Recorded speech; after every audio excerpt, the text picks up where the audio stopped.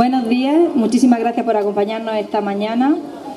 Es un lujo ver esta plaza llena de, todo el mundo, pero especialmente de estos chicos y chicas de los institutos que nos acompañan, que ellos son los que van a leer el manifiesto esta mañana. ¿Lo traéis preparado?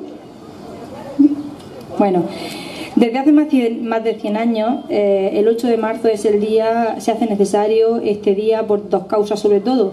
Primero, por recordar los derechos conquistados por las mujeres a lo largo de todo este tiempo y segundo, para recordar que es mucho el camino que nos queda por recorrer y que no podemos bajar la guardia. Recordar que el feminismo no divide, el feminismo no es una lucha entre hombres y mujeres, es justamente todo lo contrario. El feminismo es la igualdad, la igualdad real y absoluta para todos nosotros y nosotras porque tenemos todos los mismos derechos y las mismas obligaciones.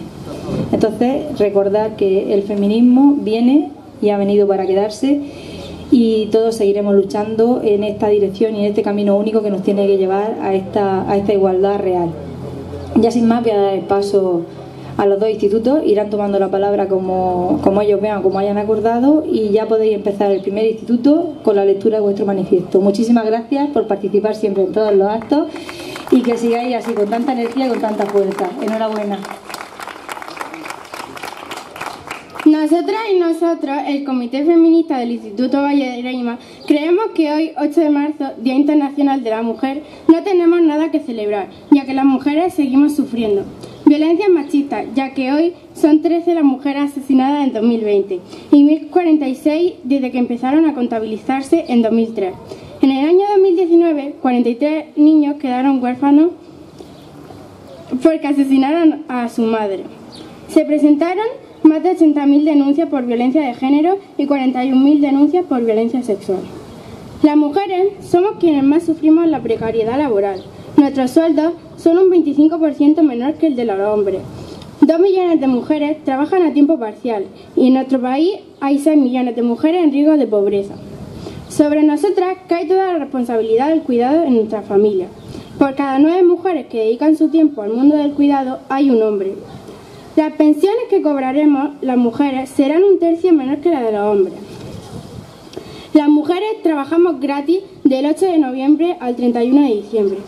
La violencia de género en menores de 14 a 17 años ha aumentado un 682%.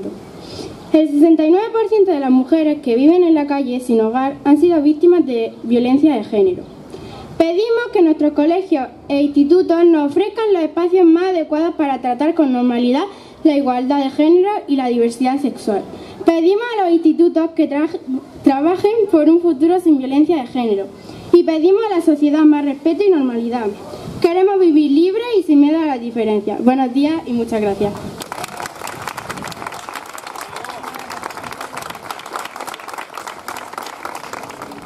Hoy es el día en el que todas juntas venimos a reivindicar nuestros derechos, como hacemos todos los días del año. La lucha feminista no empieza ni termina el 8 de marzo.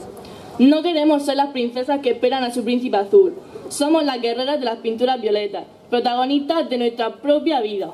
Somos diversas, somos las que ya no están, somos todas, pero sobre todo somos mujeres que quieren ser libres. No queremos sentir miedo. Miedo al caminar sola, cuando un vehículo reduce la velocidad a mi paso, en un lugar iluminado u oscuro, conocido o desconocido, en una calle concurrida o solitaria. Todavía nos siguen asesinando, nos siguen violando, siguen maltratándonos física y psicológicamente. Sufrimos la división sexual del trabajo, que nos condena a la precariedad, la discriminación laboral y a trabajos peor remunerados, e incluso a veces invisibles e ilegales. Sobre nosotras recae el peso de los cuidados y del trabajo doméstico. Por eso hoy no tenemos nada que celebrar, todo está por luchar. Dicen que hay justicia, dicen que denunciemos, pero cuando lo hacemos se nos cuestiona y culpabiliza. La ropa, el lugar, tu vida sexual, nada de eso importa. Solo el asesino, maltratador o violador es culpable. Basta de justicia patriarcal, la lucha contra las violencias machistas es una cuestión que atañe a toda la sociedad. Nos enseñan cómo comportarnos para no ser agredidas, en vez de enseñar a estos hombres a no violar, maltratar o asesinar. Para llegar a una sociedad libre para todos y todas es esencial una educación en valores sin prejuicios ni estereotipos, una educación en la que la princesa es la que mata al dragón. Existen referentes femeninos en la historia y en todas las áreas del conocimiento, heroínas de la igualdad, y tenemos derecho a conocerlas. Exigimos una educación en igualdad. Juntas hemos conseguido muchas cosas, pero aún quedan muchas otras por conquistar. Sabemos que hay que seguir avanzando y nos sabemos fuertes. Las feministas sacamos músculo el 8 de marzo, pero todos los días nos ponemos las pinturas de guerra para luchar por los derechos de las mujeres. Las mujeres movemos el mundo. Hoy comienza la revuelta feminista. Muchas gracias.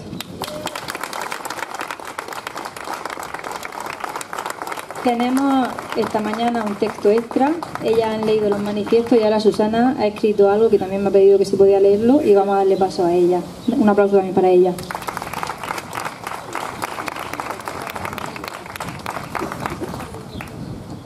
El miedo tenía preso un cuerpo que no le pertenecía. Lo decía su piel morada y el mar de lágrimas que derramaban sus ojos cada noche.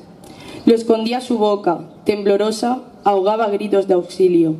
Lo repetían sus manos en un ciclo constante sobre su cuerpo. Lo repetían sus palabras, que de continuo castigaban su mente.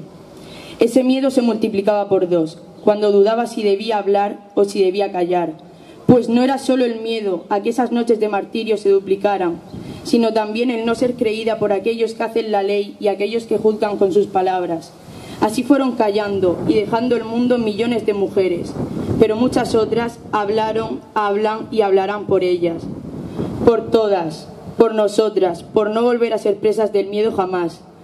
Muchas gracias por la atención y a mis compañeras que han leído. Esto sí nos representa.